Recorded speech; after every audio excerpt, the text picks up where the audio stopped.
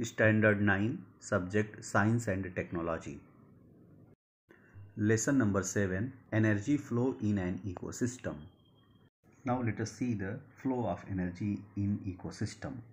The sun is the most important source of the energy in any ecosystem and green plants store the sum of the solar energy in the form of food by the process of photosynthesis. Before reaching the decomposers, this stored energy is passed on from one trophic level to the another trophic level that is from producer to herbivorous, from herbivorous to carnivorous and from carnivorous to the mixed consumer. Decomposers release the some amount of energy in the form of the heat.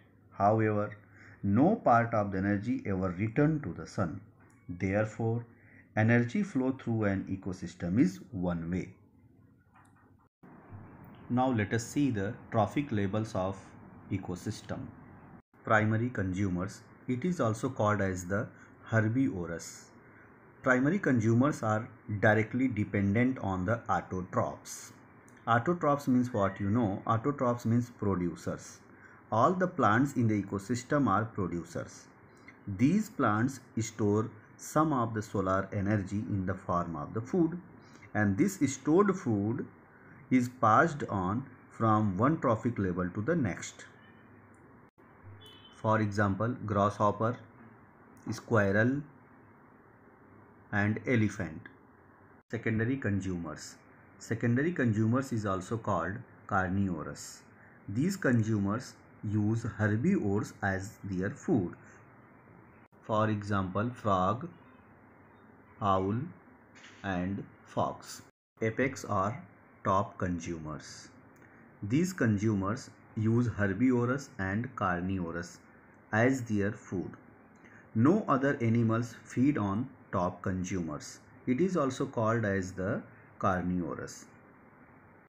For example, tiger and lion. Omnivorous. It is also called as mixed car consumer. It feed on the herbivorous and carnivorous. For example, human being and bear. Now let us see the food chain. A definite sequence in the interaction between producers, consumers and saprophytes is called food chain. Each food chain consists of 4, 5 or more links. For example, an insect feeds upon larvae of the different plants. But at the same time, this insect is the prey for various animals like frog, which is again a prey for the snake and snake is the prey for eagle. Now see the food web. An ecosystem consists of different type of the food chains which are interconnected at various levels forming an intricate web instead of a linear chain. This kind of intricate network is called a food web. Trophic level. Each level in the food chain is called a trophic level. A trophic level is the step at which the organism obtains its food in the chain. The amount of matter and energy gradually decreases from producers at lowest level to top consumers at the highest level.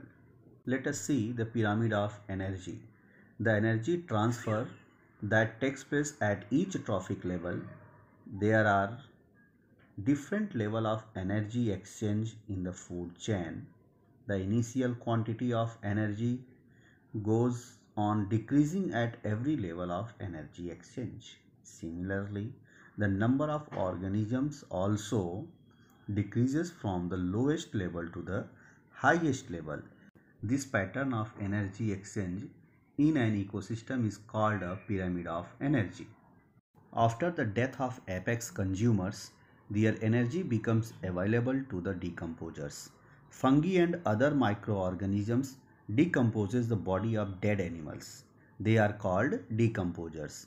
In the process of obtaining the food from the remains of the organisms, decomposers convert them into simple carbon compounds.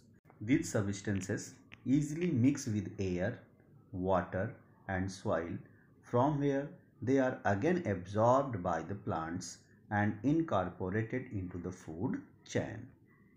You can see due to the food web formed by the various mode of nutrition, energy and various nutrients circulate continuously in the ecosystem. Thank you.